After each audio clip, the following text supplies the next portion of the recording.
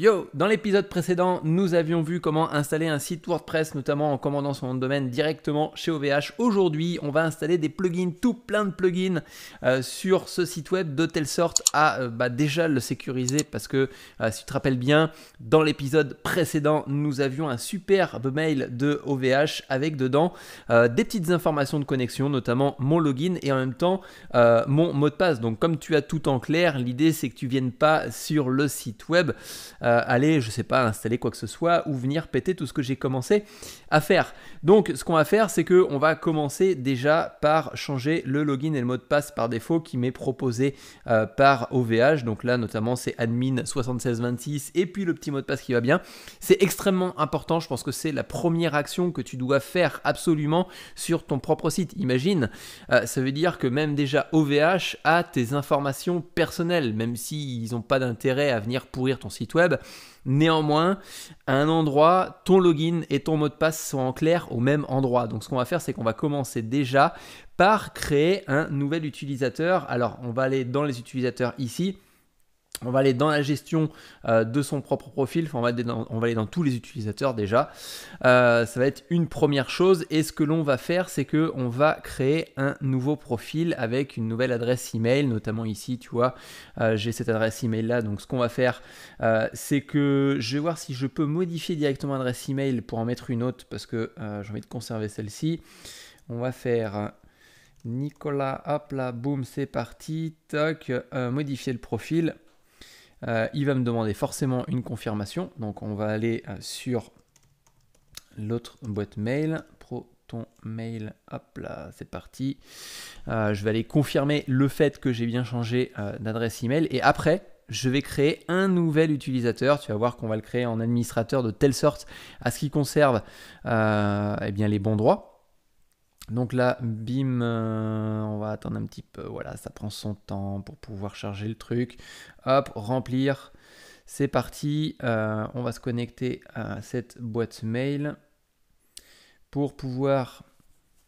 Voilà, demande de modification. Hop, je change. Alors euh, oui, oui, continuez, continuez. Proton Mail, c'est une petite boîte mail assez sympathique. Hein, elle est chiffrée et tout, c'est plutôt pas mal. Donc voilà, on a euh, notre euh, adresse email qui est changée. Donc ce que je vais faire, c'est que euh, comme je suis déjà administrateur connecté en, tant qu'administrateur, je vais créer un nouvel utilisateur. Donc je vais faire ajouter. L'identifiant, eh bien comment est-ce qu'on va mettre l'identifiant? Je vais mettre un identifiant assez simple à retenir, c'est-à-dire que concrètement, attrape. Attrape admin, c'est pas mal ça, attrape admin. Allez, hop, l'adresse de messagerie, boum, on renseigne tout ça, nom, prénom, je m'en tamponne, j'ai pas besoin. Éventuellement, ce qu'on va faire, c'est qu'on va mettre le petit site web ici, ça peut être pas mal. Je vais ajouter un S parce que plus tard, on va euh, changer tout ça. Je vais pas afficher le mot de passe, on va le cacher, d'accord Tu verras pas le mot de passe que je vais taper et je vais mettre un mot de passe customisé derrière euh, qui est relativement fort. Je vais le retaper parce que je suis pas totalement sûr de ce que je viens de c'est parti. Alors ce qu'on va faire maintenant, c'est qu'on va changer euh, le rôle. On va pas se mettre en tant qu'abonné, hein, ce serait quand même dommage. Euh, on va se mettre en tant qu'administrateur. Tout du moins, ce nouvel utilisateur, on va le mettre en tant qu'administrateur. Donc je me mets en tant qu'administrateur et en même temps, je fais ajouter un utilisateur. Alors ce que l'on va faire, euh, on va tester tout de suite si le mot de passe que l'on a mis en place est bon et correct, de telle sorte à pouvoir essayer de se reconnecter derrière. Donc j'enregistre pas les mots de passe, je vais me déconnecter de mon WordPress. Et puis, on va essayer de se reconnecter juste après. Et donc, oui, l'email est correct.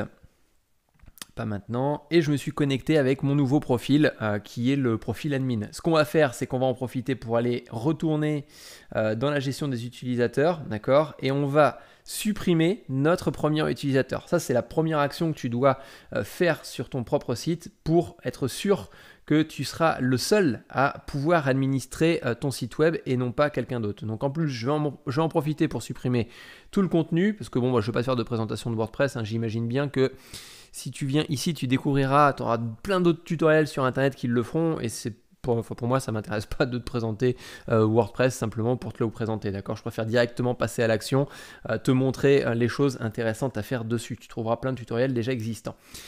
donc là, on vient de modifier notre administrateur principal. on, on est le seul maître à bord euh, sur le site web. Maintenant, ce que l'on va faire, c'est qu'on va ajouter euh, d'autres éléments de sécurité. Notamment, euh, ce que l'on va regarder, on va aller dans notre interface de OVH et notamment aller se connecter pour voir si notre certificat SSL est prêt euh, notamment avec euh, Let's Encrypt dans la première, enfin dans la vidéo précédente, celle que tu n'as peut-être pas déjà vue. Donc dans ces cas-là, je t'invite à aller la voir et puis en même temps t'abonner à la chaîne, comme ça du coup tu ne louperas pas les prochaines vidéos. Euh, on avait mis en place un certificat SSL, c'est-à-dire un certificat qui nous permet d'obtenir le HTTPS, le fameux HTTPS dans l'URL. Et eh bien pour le coup, on va regarder si d'une part c'est prêt et si c'est pas prêt, bon bah, dans ces cas-là on le mettra un peu plus mais d'une part si c'est prêt et si c'est prêt, on va configurer notre site web de telle sorte à pouvoir avoir justement ce certificat SSL en place. Donc, euh, je suis dans mon administration. Je vais aller dans les noms de domaine et notamment attrape.io. On va cliquer dessus. Euh, regardez si notre certificat est bon. Alors, ça prend un petit peu de temps parce qu'il faut que ça charge. Euh, tac, tac, tac, tac. Ah non, c'est dans l'hébergement, pardon, excuse-moi. Touk, hébergement, pouf. Hébergement, hébergement, hébergement à trap.io. Voilà. Et donc, et donc, et donc, et donc, surprise, est-ce que c'est prêt, est-ce que c'est pas prêt? Alors, c'est pas encore prêt. Euh, je ne pense pas que ce soit prêt. Attends, il se met, il finit de charger son truc. Si, le certificat SSL est prêt avec Let's Encrypt. Donc, ça veut dire qu'on va pouvoir maintenant aller configurer notre site web de telle sorte à avoir un petit certificat SSL. Parce que là, pour l'instant, si tu vois bien, on a non sécurisé en haut à gauche de notre écran. Euh, ça veut dire que euh, concrètement, alors je ne sais pas si je peux faire un truc comme CTRL A, hop là, CTRL V, tu vois ici, je n'ai pas de S à la fin de mon HTTP.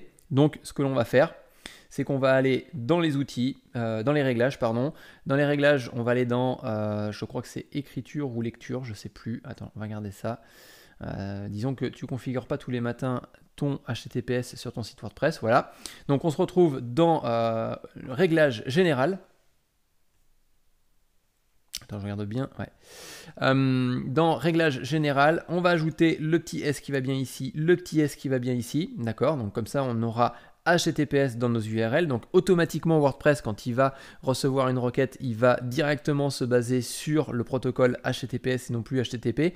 Et normalement, on n'a plus rien d'autre à configurer ici. Donc ce qu'on va faire, c'est qu'on va faire enregistrer les modifications. Donc on enregistre les modifications.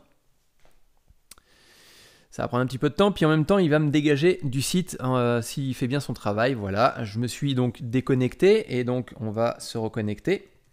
Attrape admin. Et en même temps, le petit mot de passe qui va bien. Et donc là maintenant, alors moi je vais l'ajouter, hop, comme ça du coup j'aurais pu le retaper par la suite. Euh, concrètement, là on a euh, un, site, qui est sécurisé au niveau des requêtes. On a bien notre petit HTTPS. D'ailleurs, tu regardes, si tu cliques sur le petit cadenas, ta connexion sécurisée, tu as ton certificat donc, euh, qui est valide. Et puis en même temps, tu as tous les cookies qui sont enregistrés sur ce certificat. donc tout est normalement chiffré. Voilà, donc là c'est la première chose que l'on a faite. Enfin, c'est la deuxième chose. C'est la deuxième chose. Donc premier point, changer le nom d'utilisateur par défaut. Le deuxième point, c'est euh, changer le certificat, enfin tout du moins mettre en place notre certificat puisqu'on l'a commandé chez OVH et il nous l'a fourni. Et maintenant, euh, on va ajouter d'autres éléments. Et notamment, on va aller faire un petit tour dans les extensions. Donc, on va les faire ajouter. Et puis, on va ajouter des petits plugins qui vont venir renforcer notre sécurité.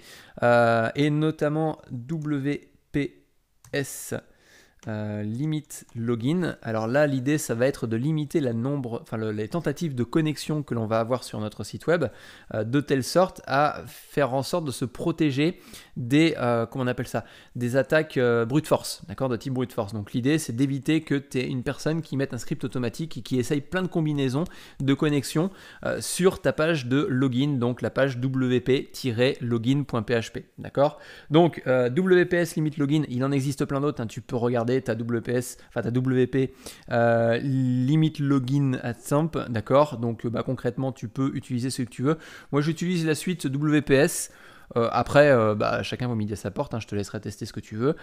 c'est un plugin que j'utilise quasiment sur tous mes sites web. WPS Login, c'est, enfin WPS d'ordre global, c'est WP Server qui te permet de, bah, d'installer un serveur WordPress, enfin un site WordPress sur leur propre serveur. C'est eux, c'est eux qui te l'hébergent en fait. Et donc, bah, pour le coup, T'as rien à faire de ton côté. Donc là, euh, on va aller dans les réglages dans un premier temps, euh, et puis on va regarder un petit peu ce qu'il en est. Euh, ici, on a toutes les configurations, enfin la configuration de ton plugin. Donc notamment, l'objectif, ça va être de limiter le nombre de tentatives d'échec de plugin et de bloquer les tentatives de connexion. Et en même temps, ça va enregistrer les adresses IP qui ont essayé de s'authentifier euh, sur ton propre site. Donc comme ça, tu pourras faire une, bah, ce qu'on appelle une liste noire des adresses IP que tu ne veux pas voir venir se connecter sur ton site web. Donc là, moi, je vais laisser pour cette vidéo-là euh, les réglages par défaut. Je les changerai après. Je ne vais pas non plus te montrer toute la configuration du site euh, dans les détails. Mais l'idée, c'est que voilà, on a trois tentatives autorisées avant le blocage de l'adresse IP sur laquelle on est actuellement, d'accord? Pour une durée de 20 minutes. Ça veut dire que le mec, il se plante une fois, deux fois, trois fois, bim, il est bloqué pendant 20 minutes. Donc autant dire qu'il vaut mieux que tu te rappelles de ton mot de passe. C'est pour ça que moi j'utilise un gestionnaire de mot de passe euh, qui est, euh, euh, qui est comment dire, LastPass, qui me permet de conserver les mots de passe et d'éviter ce type d'erreur. Alors, en règle générale, je réduis drastiquement le nombre de tentatives à la suite, d'accord? Quand j'utilise ce système-là, d'accord? Ensuite, après, tu as donc 12 heures jusqu'à ce que les tentatives de connexion soient Donc là, c'est encore autre chose.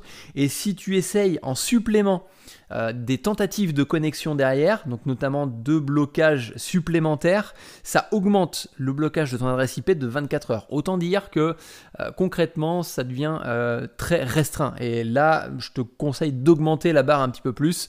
pas, mais pas une semaine non plus, hein, d'accord, faut pas abuser. mais concrètement, d'augmenter un peu plus. Pourquoi est-ce qu'il faut que tu changes de ton côté les éléments de configuration? Parce que comme ce sont des plugins qui sont installés sur WordPress, ce sont des configurations qui sont par défaut. Donc potentiellement, si tu mets en place un robot, euh, tu pourrais dire, bah écoute, moi je vais aller tester tous les sites web WordPress euh, qui ont euh, telle configuration au niveau du WPS limit login. Imaginons que le gars il cible que ça, et bim, c'est parti, il va essayer de se, se connecter dessus. Donc concrètement, voilà pourquoi il vaut mieux changer euh, les configurations. Donc après, tu as la liste blanche. Éventuellement, si tu as une adresse IP fixe chez toi, boum, tu la mets dedans, comme ça, tu n'es jamais bloqué, ce qui est plutôt sympathique. Et puis en même temps, tu as la liste noire de tes euh, blocages de ton côté. Donc là, bah, tu peux mettre des adresses IP qui ne, bah, que tu ne veux pas avoir se connecter sur ton site. Tu as le journal de log. Euh, concrètement, c'est toutes les adresses IP qui vont être bloquées. Et réellement, hein, quand tu regardes bien, euh, tu, au, bout de peut-être quand tu vas commencer à avoir du trafic sur ton site web, quand tu vas commencer à euh, faire, faire des promotions à partir des réseaux sociaux, en fait, ton site web, pour l'instant, il est protégé. À partir du moment qu'il est nulle part, à partir du moment que tu ne l'as pas communiqué à n'importe quel réseau social, n'importe quel site web, pour l'instant, il est protégé, il craint rien en soi, d'accord? C'est à partir du moment que tu vas commencer à l'exposer sur les réseaux sociaux, à l'exposer sur d'autres endroits, là, il va commencer à craindre un petit peu et il va commencer à subir des attaques. Donc tu le verras forcément, puisque dans ton tableau de bord, va faire un petit tour dans le tableau de bord, tu vas retrouver, euh, tu vas retrouver, tu vas retrouver, voilà, WPS limit login. Alors moi, ce que je fais, le tableau de bord, pareil, je le customise. C'est-à-dire que hop, je vais dans les options euh, de l'écran. Donc euh, les événements WordPress, je m'en tamponne, les brouillons, je m'en tamponne, les activités, je m'en tamponne, et ça, je m'en tamponne aussi. Voilà. Donc je ne, récupère que cette partie-là, euh, même si je m'en sers pas forcément, ça m'intéresse toujours de voir un petit peu combien j'ai eu d'attaques du jour au lendemain sur ma page de login. Donc ça, c'est un plugin extrêmement important et juste en mettant ça en place, d'accord, en mettant ce type de procédure en place, avec le certificat, avec le changement d'utilisateur, déjà tu te limites, enfin tu, tu, réduis de plus de 90% les attaques que tu peux avoir ou les tentatives de connexion que tu peux avoir. Il y a un autre plugin que, je n'installerai pas parce que moi je l'utilise euh, autrement, mais que tu peux potentiellement installer, c'est WPS euh, Hide Login. Attends, je vais te le montrer. WPS Hide Login. Euh, le temps que ça charge, encore une fois. Voilà, WS Login, euh, qui, est, euh, qui est un petit plugin supplémentaire euh, qui te permet de cacher l'URL de connexion. Aujourd'hui, c'est wp-login.php, ton, ton, ta page de connexion. si demain tu veux l'appeler, je sais pas, Bibi Login, eh bien tu pourrais très bien l'appeler Bibi Login, et du coup, par défaut, la page wps-login.php n'existe plus, ou n'existera plus. Et ce qui va dire que tu vas te connecter à une autre URL que toi seul, en tant qu'administrateur, tu peux connaître. L'inconvénient de ça, c'est que certains services sur lesquels ils vont essayer de se connecter euh, sur ton site WordPress euh, ont besoin de cette fameuse page WP Login de connecter, enfin de connecter, d'existante. Et si tu viens à la cacher, si tu viens à la supprimer, du coup tu peux plus utiliser ces autres services-là. Notamment, je prends l'exemple de Zapier, Zapier qui est un outil euh, d'automatisation des différents processus dans une activité, enfin qui connecte plusieurs services les uns avec les autres. Et eh bien pour le coup, tu vas retrouver ce problème-là derrière. Donc moi, ce que je te conseille, c'est tout simplement de l'utiliser en fonction de si tu euh, bah, si as envie d'automatiser avec Zapier ton blog par la suite ou non. Si tu n'as pas, si pas d'intérêt à connecter d'autres services dessus, dans ces cas-là, utilise ce type de service-là. Euh, il y en a un autre que j'utilise moi qui est euh, WPS Bidouille. Alors le nom est un peu chelou, tu vois, mais il y a plein de petites choses. Notamment si tu connectes sur le site, par exemple, attrape la page d'accueil. Alors si je commence à me planter, serait-ce que dans, ne serait-ce que dans mon propre nom de domaine, alors c'est pas à, c'est hop là, attrape, voilà. Euh, hop, il a été installé. Je vais aller dans les réglages. Euh, donc, les réglages WS Login se trouvent ici. Euh, non, bah, il est installé mais pas activé. Donc, effectivement, ça ne marchera pas. Si je fais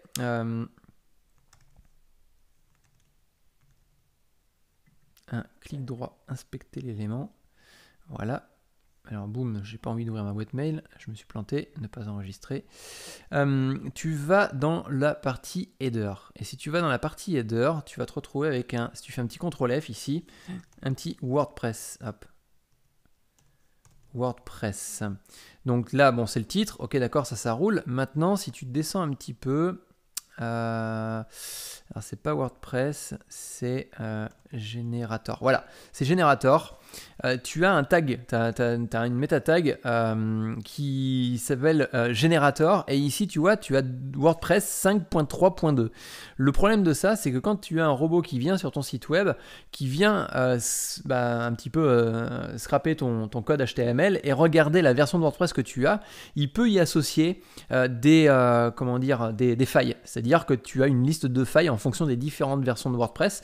Et ce que, ce que, robot, ce, que ce robot va faire, c'est qu'il va probablement essayer d'utiliser ces failles sur ton propre site. Donc pour éviter d'afficher ça à ton robot. Alors, je t'avouerai que c'est un peu, euh, c'est un peu, euh, euh, alors tout dépend. Des fois, tu as la version de WordPress autre part, mais je crois qu'ici on ne l'a que ici. Voilà, si voilà.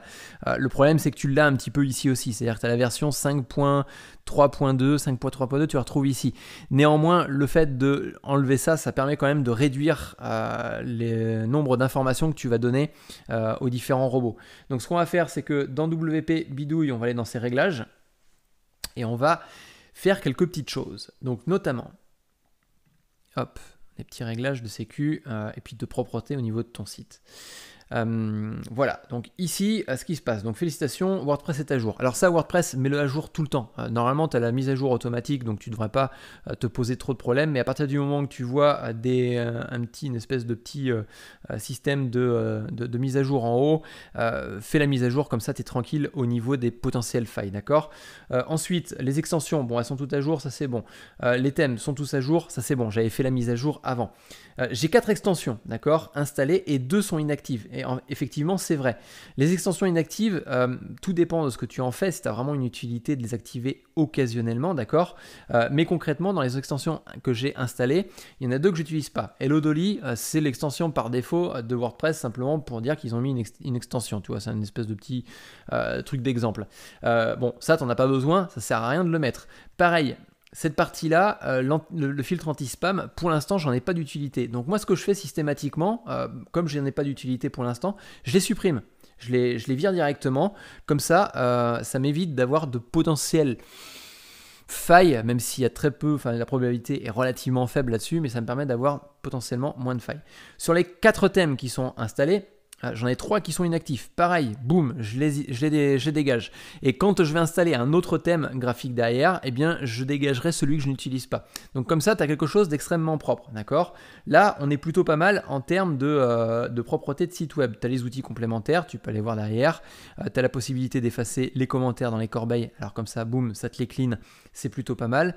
Au niveau des révisions, le nombre de révisions, les révisions, c'est quand tu fais une modification euh, d'article et que tu as besoin de retourner en arrière. Ben, dans ces cas-là, euh, peut-être qu'il y a des euh, sauvegardes dont tu n'as pas besoin. D'accord? Donc ça, boum, là, ton site, il est cleané, c'est plutôt pas mal.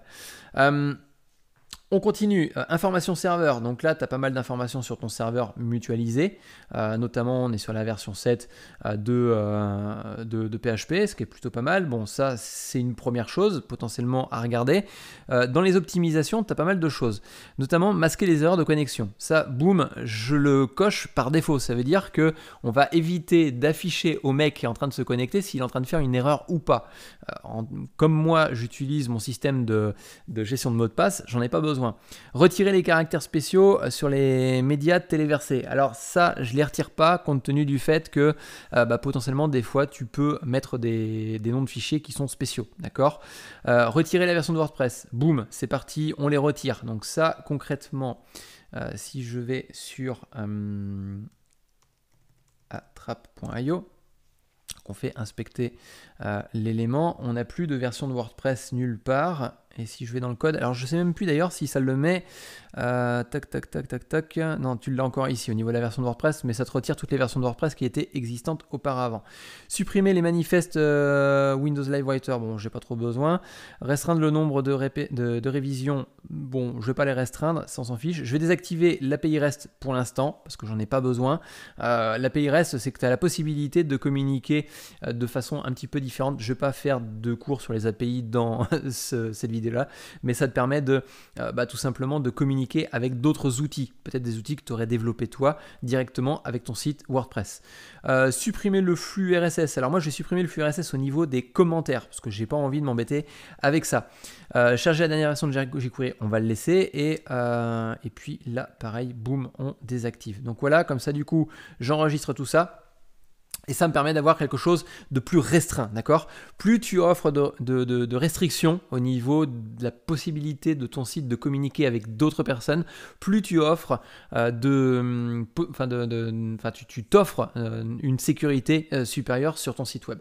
Donc là, en termes de sécurité, on est plutôt pas mal. Je t'avouerai que concrètement, tu peux rajouter encore d'autres éléments de sécurité, mais l'idée c'est pas non plus de faire un espèce de château fort là où personne ne peut rentrer, personne ne peut sortir.